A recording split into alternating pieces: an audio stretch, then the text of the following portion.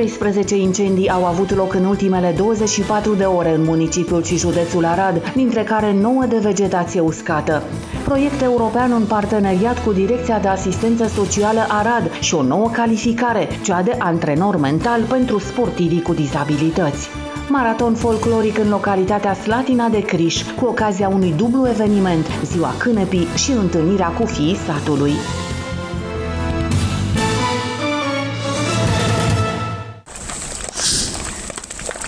13 incendii au avut loc în ultimele 24 de ore în municipiul și județul Arad, dintre care 9 de vegetație uscată, miriște, pășure, împădurită și litieră. Au mai ars un graj la Semlac, baloți de paie în aer liber la Petri și biroul la Balastiera Horia.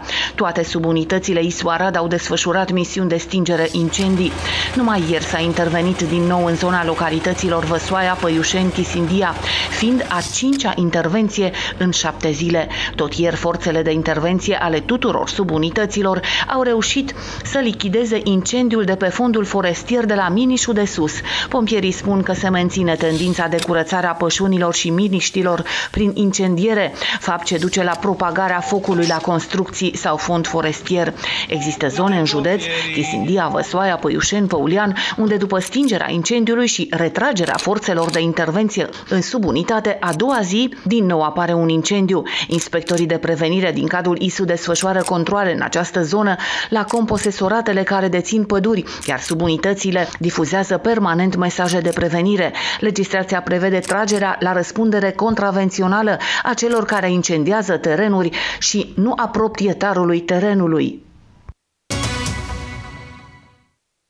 S-au schimbat simptomele COVID, acum durerea în gât a devenit primul semn al infectării cu coronavirus. La începutul pandemiei, simptomele tipice de COVID erau febra, pierderea gustului și a mirosului, dar acum acestea sunt mai puțin comune. Un studiu făcut pe 17.500 de persoane din Marea Britanie îmbolnăvite în decurs de o săptămână a relevat gâtul dureros ca prim simptom observat. Durerile de cap, nasul înfundat și tusea au fost pe locurile următoare. Conform aplicației Zoe, care a listat principalele simptome COVID-19, în acest moment acestea sunt în ordinea următoare. Durere în gât, durere de cap, nas înfundat, secreții nazale sau tuse fără expectorație, tuse expectorantă, voce răgușită, strănut, oboseală, dureri musculare, amețeli ușoare, ganglionii gâtului inflamați, durere oculară, alterarea gustului, dureri în piept, febră, frisoane, dificultăți de respirație, dureri de urechi și, într-un final, pierderea mirosului care survine la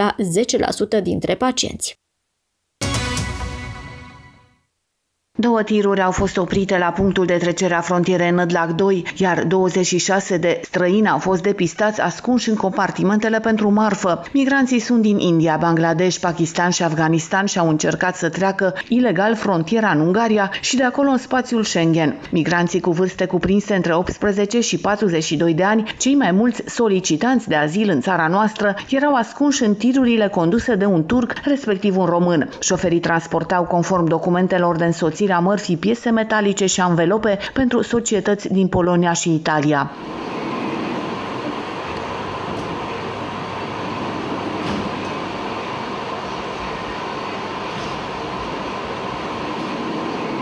Migranții au fost preluați și transportați la sediul sectorului pentru cercetări. Alte patru persoane au fost depistate și închiși în Eucriș, în cadrul unor acțiuni preventive. În cadrul verificărilor s-a stabilit faptul că aceștia vin din India și sunt solicitanți de azil în țara noastră. Ei au fost îndrumați să se întoarcă în centrele regionale de cazare. O altfel de școală, zeci de elevi au fost reporteri și prezentatori și au luat unul altuia interviuri, au pus întrebări care mai de care mai hazli, au văzut studiourile TV și radio precum și redacția. Mirajul televiziunii a fascinat pe elevii școlii de vară din cadrul Bisericii Ortodoxe din subcetate. UTA Arad a câștigat meciul cu Petrolul Ploiești. A avut loc pe 25 iulie, ora 21 și 30 de minute, 2022. Scorul a fost 2 la 0 pentru formația arădeană. Autorul gorurilor a fost David Miculescu, omul meciului. UTA Arad a câștigat meciul cu Petrolul Ploiești. Uh, partida a avut loc pe data de 25 iulie 2022, ora 21 și 30 de minute, pe arena Francis von Neumann. Scorul a fost 2-0 uh, pentru UTA, autorul golurilor fiind David Miculescu, în vârstă de 21 de ani. UTA Arad a câștigat meciul cu Petrolul Ploiești, care a avut loc pe arena Francis Neumann de la 21.30 pe 25 iulie. Stadionul Lutei a avut o susținere de 10.000 de suporteri. Colega noastră Georgiana Țentea i-a îndrumat în turul lor în studiourile Radio TV. Elevii au fost interesați mai ales de aparatură, platouri și decoruri, iar câțiva au dorit să se regăsească în postura de prezentatori și au citit în fața camerelor video mai multe știri. Credeți că UTA va intra în play-off? Mm, depinde și ce se va întâmpla în restul meciurilor. Dacă va juca ca și în meciul de aseară cu Petrolul Ploiești, s-ar putea să intre play-off, dar nu pe alt loc, pe 5 sau pe 6. Pentru că nu cred că va face față Craiovei, CFR-ului și FCSB-ului. Credeți că va ocupa UTA sezonul acesta? Sezonul acesta eu cred că va ocupa UTA locul 5, 6 sau 7. Cine credeți că va fi golgheterul UTEI în acest sezon? După primul meci, ai spune că Miculescu, după o dublă foarte frumoasă, dar încep să cred că va fi Cheșeru. Credeți că UTA va intra în Conference League? Eu cred că UTA va fi pe, aș zice, pe ultimul loc. Credeți că UTA va intra în Conference League? Păi dacă o să continuăm cum a fost la meciul cu Petrolul, cred că vom intra. Cine credeți că a fost omul meciului? Păi având în vedere frumoasa dublă a lui uh, David Niculescu, bănuiesc că chiar el. Bună ziua! Mă numesc Eliza Cash. În ultimele zile, în vestul țării, au fost înregistrate temperaturi foarte ridicate. Nu a mai plouat de multă vreme, iar oamenii sunt îngrijorați. Deși toate recomandările spun să evităm soarele și să nu ieșim afară, strandurile sunt arhipline și mulți oameni au ajuns la spital cu insolații și arsuri. Andreea, de câte ori ai băut apă în această zi? Um, am luat 5 guri de apă din piscină, dar n-am mers să beau apă din sticlă pentru că era prea caldă. Bine punctat. Um, Ramona, sunteți puțin cam roșie, nu vă arde pielea? Mă pișcă puțin, dar trebuie să suferim pentru, fru- pentru frumusețe. Ah. Sara, de, câte, de când sunteți aici la strand? Hmm, cam de ieri. Oh.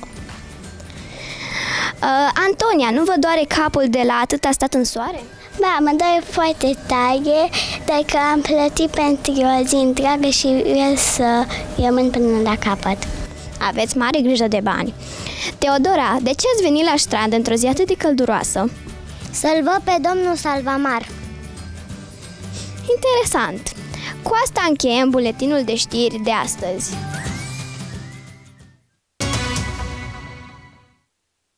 Măsurile pentru digitalizarea sistemului de justiție au fost prelungite cu încă un an. Mai multe proceduri adoptate în contextul pandemiei și-au dovedit utilitatea, susține secretarul de stat în Ministerul Justiției Mihai Pașca. Este vorba despre digitalizare și simplificarea relației dintre cetățeni și instituții. Astfel, pentru încă un an se înlocuiește contactul direct acolo unde este posibil cu mijloacele moderne de comunicare electronică, audio-video pentru a simplifica relația cu cetățenii și pentru o mai mare eficiență. Prelungirea cu încă un an a acestor măsuri înseamnă o testare suplimentară, cu obiectivul ca ele să devină permanente, a declarat secretarul de stat Arădian. Astfel, când este posibil, cu acordul părților, ședințele de judecată se vor desfășura prin mijloacele de telecomunicație audiovizuală, care permit verificarea identității părților și garantează securitatea, integritatea, confidențialitatea și calitatea transmisiunii. Fixarea de către instanță se poate face ținând seama de împrejurări a unor termene scurte, inclusiv de de la o zi la alta sau chiar în aceeași zi. Comunicarea, când este posibil, a actelor de procedură se poate face prin telefax, poștă electronică sau prin alte mijloace ce asigură transmiterea textului actului și confirmarea primirii acestuia. De asemenea, cererile de chemare în judecată, căile de atac, precum și orice alte acte de procedură adresate instanței, care nu se depun direct în ședință, se transmit prin mijloace electronice, de exemplu telefonic sau prin e-mail. Legea prelungește și măsurile adoptate în ceea ce privește domeniul insolvenței și domeniul executării pedepselor și al măsurilor educative dispuse de organele judiciare în cursul procesului penal prin utilizarea comunicării online. Un interesant proiect european a fost prezentat ieri printr-un parteneriat cu Direcția de Asistență Socială Arad. Strategia europeană pentru persoanele cu dizabilități dorește crearea unei Europe care să faciliteze îmbunătățirea condițiilor sociale și economice ale persoanelor cu dizabilități. Urmărind această strategie a fost creat parteneriatul internațional A Mental Trainer to Empower Your Super Ability, finanțat din fonduri europene prin programul Erasmus+. Sunt astfel sprijinite persoanele cu dizabilități, se facilitează incluziunea acestor acestora în domeniul sportului prin introducerea unui model de competențe pentru o nouă calificare, cea de antrenor mental pentru sportivii cu dizabilități. Printre obiectivele proiectului se numără creșterea gradului de conștientizare cu privire la incluziunea persoanelor cu dizabilități în domeniul sportului, dobândirea de noi competențe în cadrul unei noi calificări, cea de antrenor mental pentru sportivii cu dizabilități și îmbunătățirea performanțelor sportivilor cu dizabilități și creșterea stimei de sine. Ne bucurăm că suntem parteneri în acest proiect major și că că putem aduce un aport substanțial la îndeplinirea lui. Ca și instituție care își desfășoară activitatea în principal în sfera problemelor acelor persoane cu nevoi speciale, avem datoria să fim alături de ei și să îi ajutăm în toate problemele cu care aceștia se confruntă, a declarat Oana Pârvulescu, directorul general al Direcției de Asistență Socială Arad. Filmul Ascensiunea lui Zlatan într-o nouă ediție a Club Farad. Filmul îl puteți vedea pe 29 iulie de la ora 21 și 30 de minute în grădina de vară de la Cinema Arta. Regizorul suedez Magnus Gerten împreună cu Fra recent titlul al regizorului Magnus Gerten, devenit deja un veteran al festivalului. Programul integral va fi anunțat la începutul lunii august. Până atunci, nu ratați Ascensiunea lui Zlatan. Intrarea la proiecție va fi gratuită. Maraton folcloric în localitatea Slatina de Criș cu ocazia unui dublu eveniment, Ziua Cânepii și întâlnirea cu fiii satului. Spectacolul de muzică populară a fost precedat de un parastas pentru cei 11 eroi care au murit în primul război mondial. Parastasul a avut loc la monumentul din centrul satului. Acesta a fost ridicat în anul 1936 și a fost restaurat de un grup de localnici în frunte cu Bujor Barna. Cei mutați de la noi în corturile dreptilor se așeze în sluna Avram să odinească, împreună cu drepții să-i numere, să ne miluiască pe noi ca un bun și de oameni iubitori. Într-o fericită adormire veșnică, odină de Doamne, sufletele adormiților robilor tăi și le fălor veșnică pomenire. Elena Rodica Barna a recitat o poezie proprie dedicată eroilor. Cu dușmanii s-au luptat, și țara o apărat.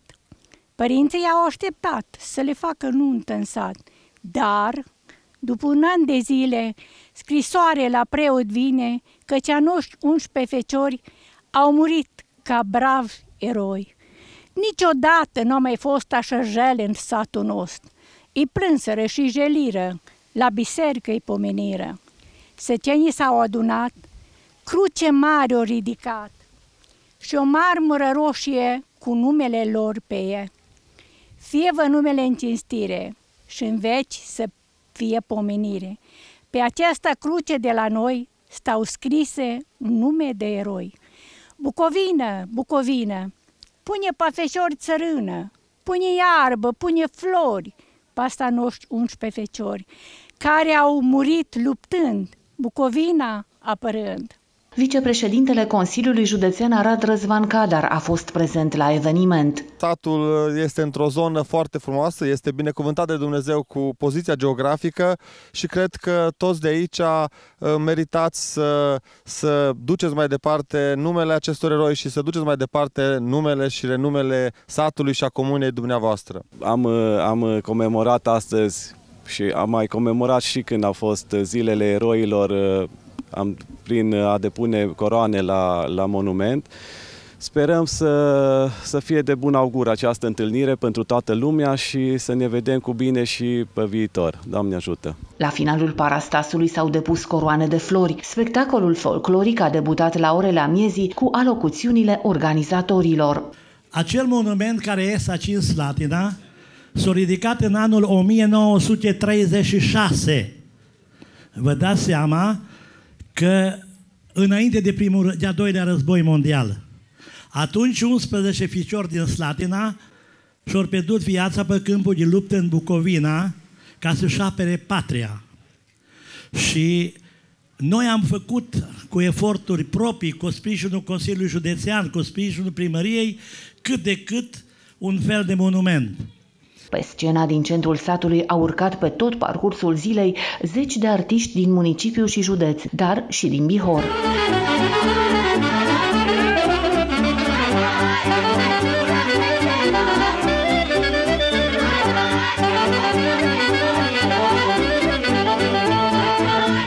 Despre cânepă și însemnătatea ei în viața satului a vorbit chiar Alexandru Pop Zărândean, care, pasionat de tot ce înseamnă obiceiuri strămoșești, a realizat un scurt metraj dedicat drumului cânepii, de la sămânță la straie populare. Din uh, cânepă se poate confecționa plastic, caroserii de mașină, uh, are putere, putere calorică mai mare decât lemnul de nu mai știu câte ori, case se confecționează din câinepă construcții care ci că sunt mai tari decât betonul.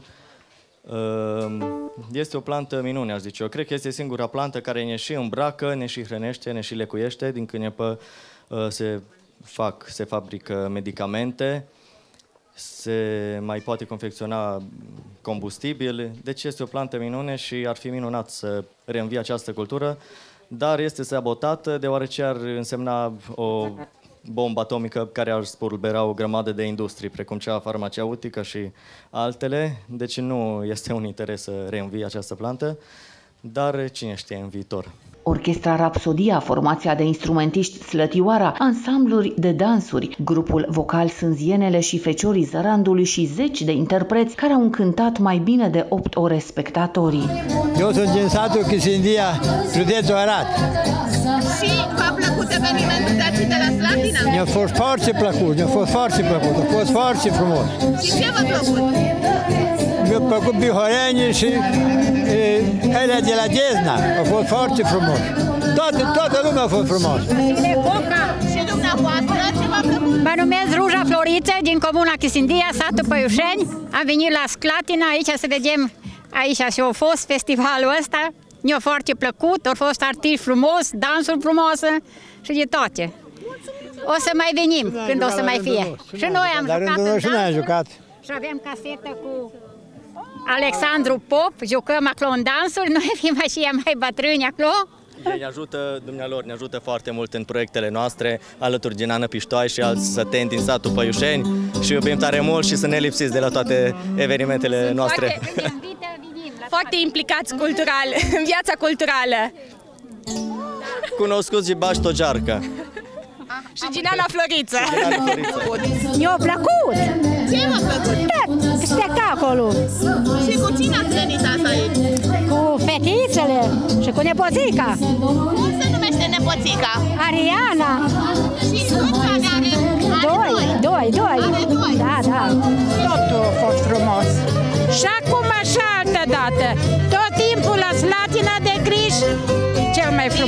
Organizatorul Zilei Cânepii și a întâlnirii cu fiii satului la a șasea ediție este ansamblul artistic Slătioara, în parteneriat cu Primăria Dezna, Asociația Composesorală Izoi și Consiliul Județean Arad, cărora li s-au alăturat mai multe firme. Domnul Bujor Barna, cu sprijinul unor cetățeni din acest sat, a organizat în 2016 prima ediție a spectacolului Întâlnire cu fiii satului din anul 2018 a luat uh, ființă ansamblu artistic Slătioara, care este sponsorizat de Centrul Cultural, Centrul Județean de Cultură.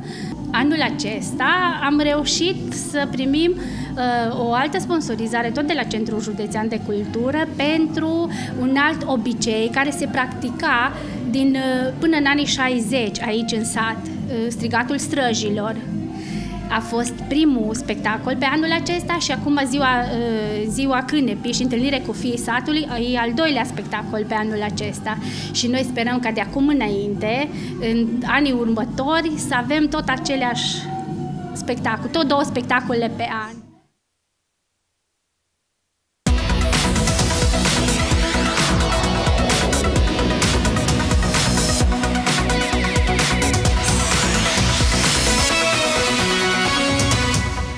Începând de marți, campania de vânzare a abonamentelor online la UTA s-a reluat. Fanii care doresc să achiziționeze un abonament o pot face de pe site-ul oficial al clubului la secțiunea ticketing, iar cardul de abonat se va putea ridica de la Arena Francisc Neumann, joi 28 iulie și joi 4 august, între orele 10 și 12 și între 16 și 18. Prețurile abonamentelor sunt următoarele: 400 de lei la peluză, 600 de lei la tribuna a doua și 800 de lei la tribuna a întâi. Pentru a 10-a oară, o grupă de calificare a Summer Cup Fed Cup Junior Under 18 se desfășoară la Arad, pe terenurile bazei UTA Tennis Profi, acesta fiind cel mai important eveniment al sportului alb din orașul nostru în acest an. Directorul de turneu Ovidiu Fereștean și ceilalți oficiali prezenți la Arad au participat marți seară la festivitatea de deschidere, în care au fost prezentate loturile celor patru naționale participante, România, Suedia, Slovacia și Bulgaria. Naționala României este formată din Cara Meșter, Maria Daciana Ciubotaru și Ștefania Bojică. Fiecare duel cuprinde două meciuri de simplu și un meci de dublu, reprezentativa care câștigă două jocuri obținând succesul la general. Se va juca după formatul fiecare cu fiecare, primele două clasate urmând de obține biletele pentru turneul final, care se va disputa în perioada 1-3 august în Franța la Granville.